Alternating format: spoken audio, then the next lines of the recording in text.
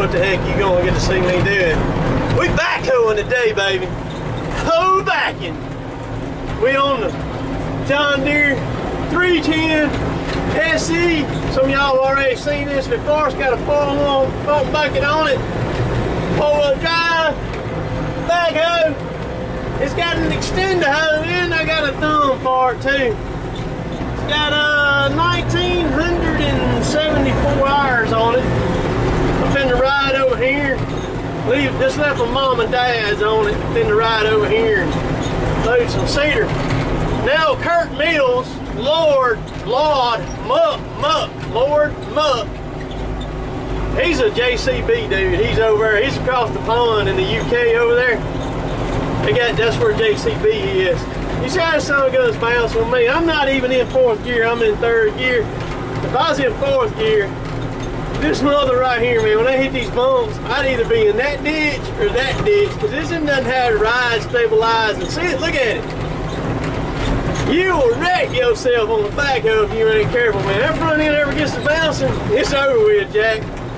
But that JCB that Kurt's got, it's a three, ah, what's that thing? It's a 3CX, it's contracted, nice. It's a nice hoe. I'm not talking about a woman either. I'm talking about a machine, backhoe.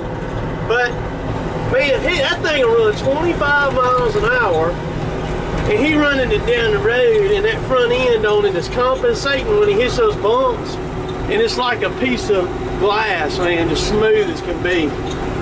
That's pretty nice, but like I said, I'm gonna load some cedar up for a guy's buying some cedar from us, and I'm gonna get some video of that. I'll, be right back. So there it is. There's a load of cedar. Big load. He's fixing to pull out. He has a uh, Wood-Mizer sawmill and he's gonna saw that stuff with it. We save our cedar. This is on our land here. He got a good load on there. You're gonna head south with it. Get her back home. He'll cut it up. But I keep, we keep plenty of cedar just for stuff like that. You know that green field, it finally came on.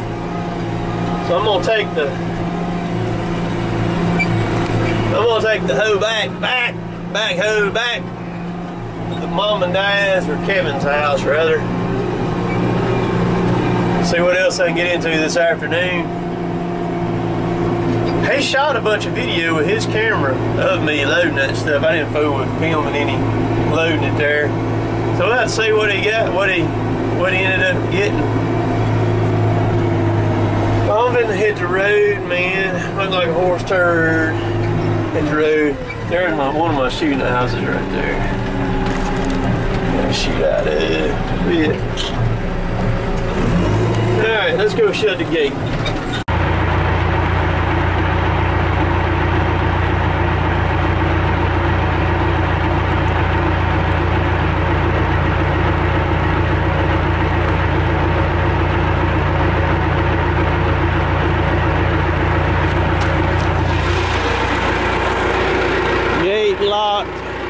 Let's go. There she is, parked back up. I'm gonna run to town right quick.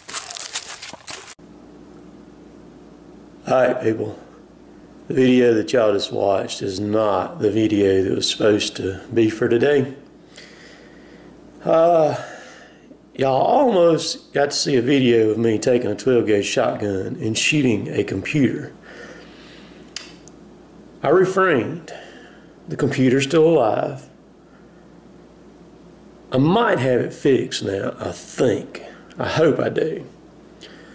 I got my buddy Paul Brown helping me a little bit with it.